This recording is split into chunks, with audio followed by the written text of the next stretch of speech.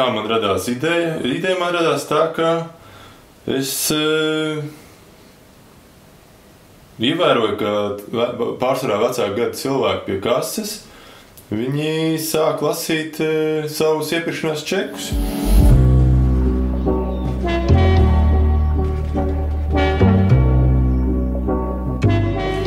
Jo bieži vien tā, ka veikalā ir uh, visas brīnumainas atlaides.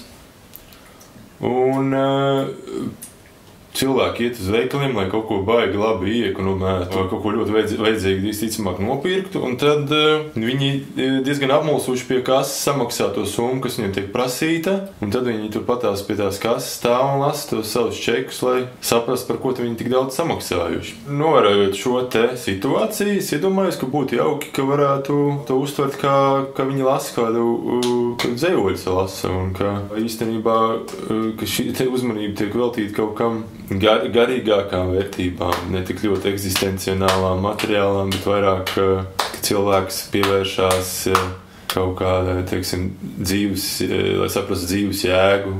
Viens sēklas, divi sēklas, trīs sēklas, četri sēklas, pieci salvetes, seši ritenis. Dažreiz ir tā, ka es staigāju pa veikalu un izvēlos tās preces un domāju par to, ka, ka es varētu būt kaut kāds cilvēks, kas nopērk, iegādājās tieši tās vai citas kaut kādas konkrētās lietas ka tiek radīts portrets, jā.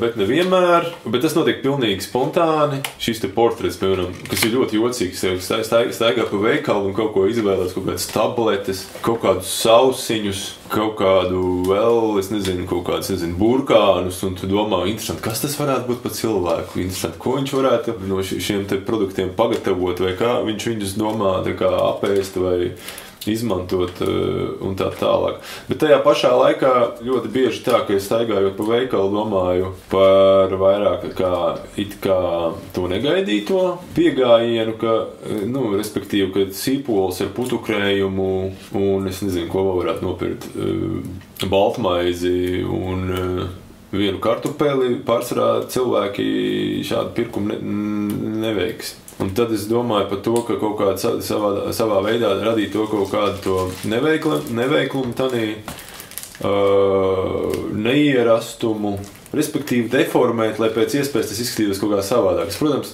nevien, nevienmēr izdodas, jo ir tās divas lietas, vai teiksim, ir trīs lietas, kas ir būtiskas. Tā ir pēc kā šie produkti izskatās, kā viņi varētu izskatīties kopā uz letes kā, kāds ir šis produkta nosaukums, kā viņi saucās, kā tas būs uz čeka. Un trešā lieta, kam jābūt, ir tā, tā ir cena, lai tas nebūtu pārāk dārgi. Jo, manuprāt, mākslā jābūt lētai. Attēls jau ir kā dzējols. Tās divas dažādas, tās nav divas atšķirāmas lietas. Gan uh, gan tekstuālais, gan vizuālais. Uz fotografijas vizuālais dzējols, savukārt uz eh, čeka ir tekstuālais dzējols. Šīs te pat nevarētu atdalīt, jo attēls ir kā ilustrācija. Tajā pašā laikā teksts var būt kā ilustrācija tam vizuālajam. Respektīvi, tā ir viena lieta. Vai konceptuāli kaut kas main, ļoti mainās atkarībā no valodas? kad tiek taisīts dzējols, protams. Piemēram, kad es biju Izrēlā, tad es, protams, pilnīgi neko nesapratu. Es vairāk kā varētu teikt, ecīt vizuāli. Man arī bija doma aizbraukt uz uh, Igauniju un tur.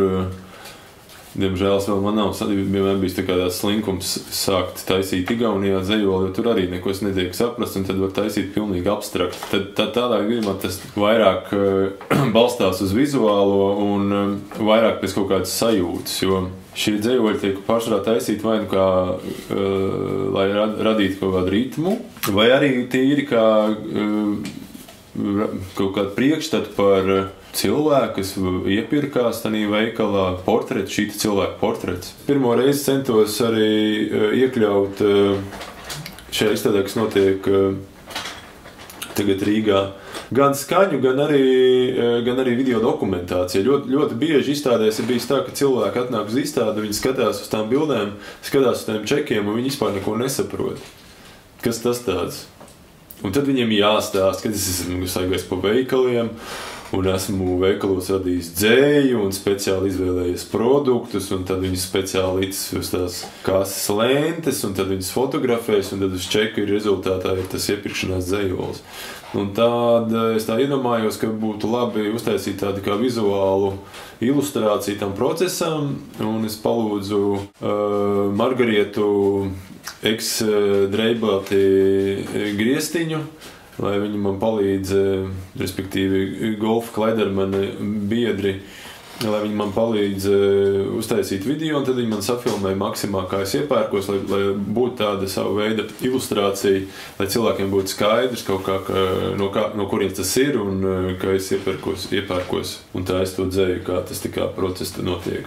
Otra lieta, par ko es esmu domājis jau sen, un ko es esmu gribējis taisīt arī dzīvojā, ir dzīslas lasījums. Tad šajā izstādē ir iekļauts arī audio, uh, kurā var klausīties, kā šie dzējoļi tiek lasīti. Un tur es uzlūdzu vairākus cilvēkus, lai nolasītu tos dzējoļus, lai nolasītu dzējoļus pēc viņu, respektīvi čekus, kā dzējoļus pēc viņu ieskatiem. Sveicieni no Prāgas! Ļoti žēl, ka man nesanāca atbraukt uz izstādes atklāšanu. Un tad, eh, tad priekā! Čau!